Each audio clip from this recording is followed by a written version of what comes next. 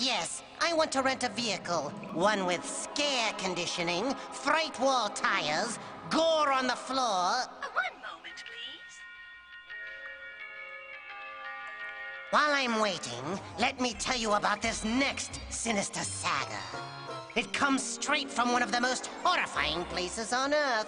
A place where zombies walk the halls, and the screams of the tormented echo from behind closed doors.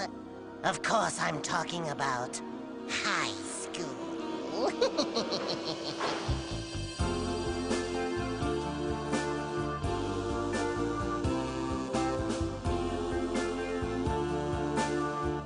Okay, baby.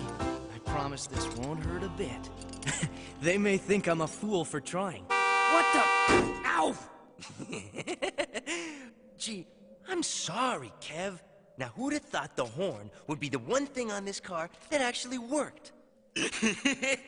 Horn's the only thing that works. Good one, Eddie. You know, I can get you a deal on some used parts. A real hot deal, if you get my meaning. I don't get it. Hot, Herman. As in five-finger discount.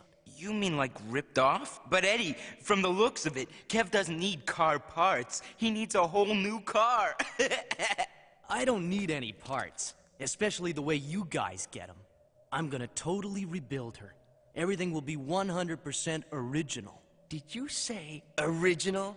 It'll take years just to scrape the rust off this scrap box. It's a pile of junk.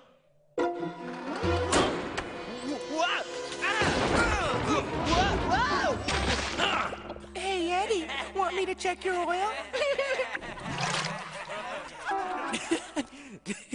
That crate's junk, and it's gonna stay junk. You hear me, Kev? You'll never